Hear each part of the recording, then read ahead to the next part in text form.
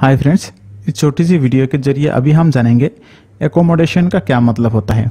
Accommodation का मतलब होता है निवास स्थान, निवास सुविधा, गुंजाइश, सहायता स्थान या मेल।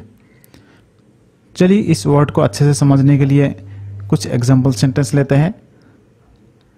अगर आप बोलना चाहें, इस शहर में रहना महँगा है तो इंग्लिश में आप ऐसा बोलेंगे एकोमोडेशन इज़ वेरी एक्सपेंसिव या accommodation is expensive in this city accommodation is expensive in the city इस शहर में रहना महँगा है।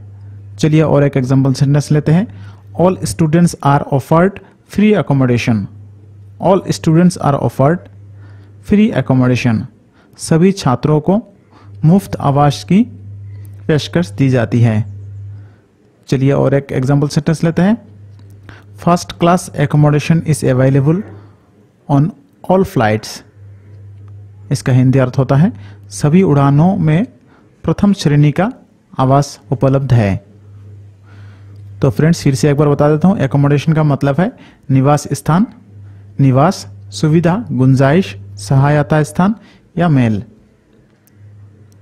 तो फ्रेंड्स, उम्मीद करता हूँ एकोमोडेशन का